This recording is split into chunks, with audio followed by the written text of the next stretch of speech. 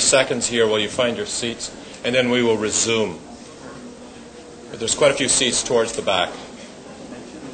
And uh, one more time, I just want to mention that once we, once uh, Mr. Shabir Ally begins speaking again, and for the duration of the debate, we're asking that you please try not to cross the center aisle here, because that the video camera will be needing a clear uh, view.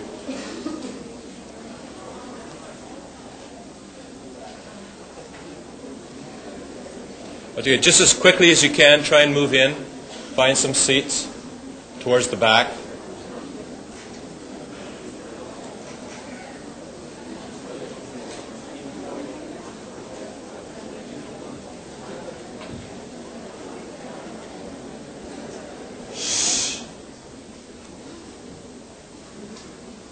Okay. The remainder of you just try and find a seat as quickly as you can. I'll ask you to be as quiet as you can now. We'll resume the debate as Mr. Shabir Ally with his opening arguments.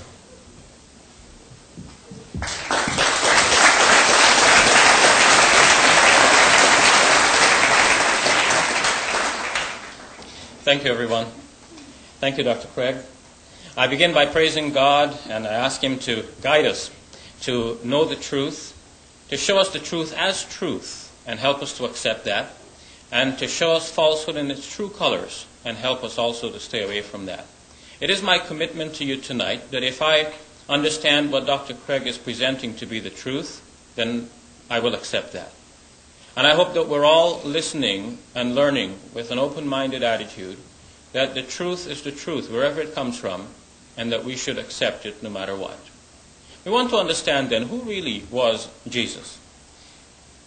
Is Jesus properly represented in the Quran or is he properly represented in the Bible?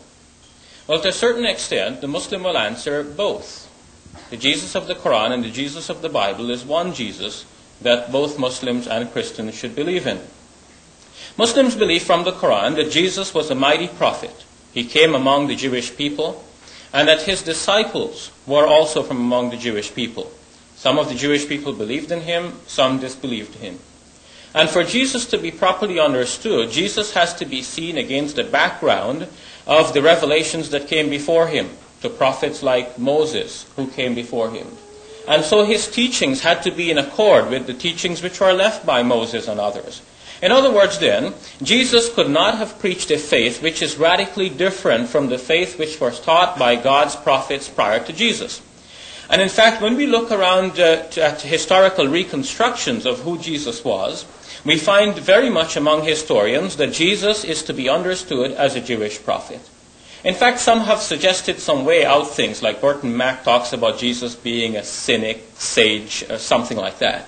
But uh, his position has not won widespread acceptance in scholarly circles, such as, for example, the position of E.P. Sanders, which uh, holds that Jesus was a Jewish uh, apocalyptic prophet. So the Quran, by presenting Jesus in this way, is in fact presenting us with that real historical Jesus. I want to ask a further question as to whether or not the Jesus of the Quran is entirely believable. Now, historians will look at uh, historical figures and they will tell us uh, where this person went, where he came from, where he lived, and where he died, and so on. Excuse me. Historians tell us where things fall. But not why things fall. Historians can only tell us where Jesus lived and walked, but historians cannot tell us that Jesus was the Son of God or that he was not the Son of God. This is a theological question. So I approach our study today not only as a historian, but also as a student of religion. I want to know what should I believe about Jesus. Now the Quranic Jesus is one whom I find to be entirely believable. I do not have any difficulty with believing in the Jesus of the Quran. The Quran tells me that Jesus was born of a virgin. I believe that. A historian might say, well, wait a minute, you cannot believe that because uh, nobody else has been born of a virgin. We don't see that happening around us. And I say, well, I have faith in God. I believe that with God anything is possible. God could cause Jesus to be born of a virgin. The Quran also affirms many miraculous deeds of Jesus that he raised the dead, that he cured the leper, that he healed the blind. The Quran tells us something interesting regarding the end of Jesus. Without going into details, the Quran tells us that God rescued Jesus from the plot of his enemies and raised him to himself. This raising here seems to resemble the Christian belief that Jesus ascended into heaven. And so it seems that finally we're both asserting that Jesus remains alive. Muslims and Christians also believe that Jesus will be coming again. It seems then that on some very crucial points concerning Jesus, our faiths intersect. Where we differ, however, is on the Christian claim that Jesus, on whom be peace, said that he was the Son of God, in a sense that makes him a divine person, the second person of the Holy Trinity. The Jews would have seen this as blasphemy if, if the Christ had actually claimed this. And in fact, I understand from Dr. Craig's apologetic that in fact this is how the Jews had understood it. And it's not that the Jews misunderstood. According to Dr. Craig, this was according to the Old Testament law. And who gave them that law? God Himself. Muslims would say no, Jesus never committed blasphemy. He was a righteous servant of God, a prophet, true from beginning to end and everywhere in the middle.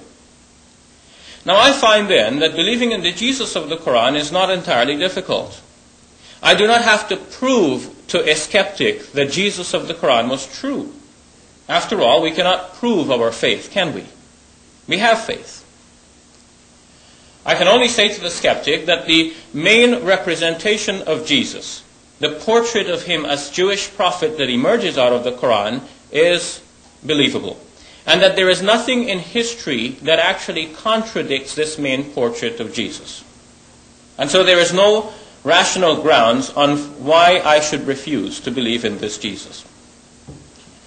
Now let's uh, look at the Jesus of the Bible. As I studied the apologetic of Dr. Craig and some other uh, apologi- apologists for the Christian faith, I found that the resurrection of Jesus from the dead is presented as a solution to a problem. And I want to understand the problem a little bit more with you. Recall what Dr. Craig said that Jesus made all of these radical claims.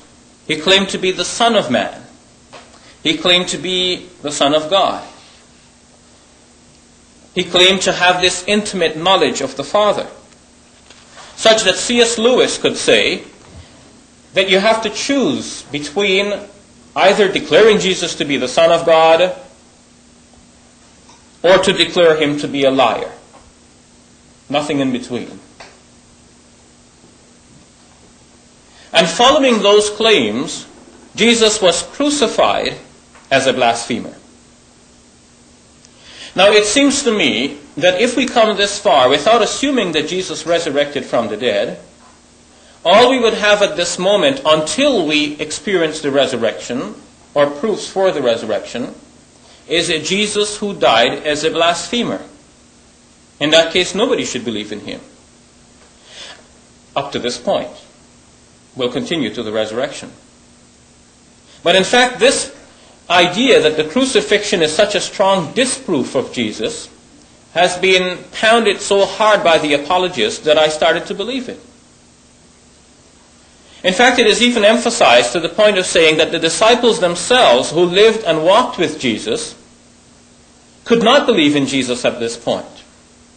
They had to forsake him as a false pretender to messiahship. They had to denounce him as a false prophet.